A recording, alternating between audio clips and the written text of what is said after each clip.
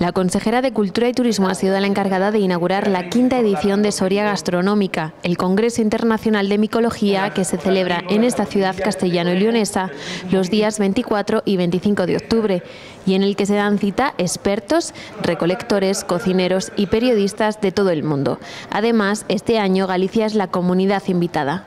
Galicia, comunidad hermana, comunidad vecina, tiene una gran riqueza natural y la micología forma parte tanto de su cocina de mar como de interior. Además, no podemos pasar por alto que Galicia es uno de los principales mercados emisores de turistas a Castilla y León. 350.000 gallegos visitaron el año pasado nuestra comunidad.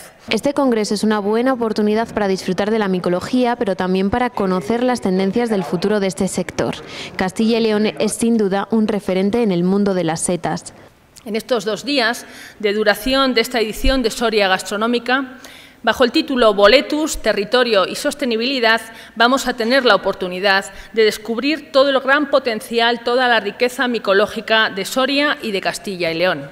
Y lo vamos a hacer desde la posición de liderazgo que Castilla y León tiene. Vamos a reivindicar nuestro protagonismo a nivel micológico, por variedad y por cantidad, con más de 2.700 especies. El cocinero soriano Millán Maroto ha recibido el reconocimiento de la Junta de Castilla y León por su labor como cocinero, micólogo y promotor de iniciativas para el desarrollo de la micología en Castilla y León.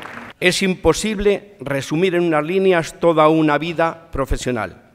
Mi mujer, mis hijas y mis nietos, mi familia y mis amigos son mi vida. Quisiera despedirme dando las gracias en primer lugar a la Junta de Castilla y León por este reconocimiento, también a todas aquellas personas que estáis hoy aquí y a todas aquellas personas que han apoyado y acompañado en mi vida profesional. En esta quinta edición de Soria Gastronómica también se va a llevar a cabo un hermanamiento entre la trufa negra soriana y la blanca de Italia.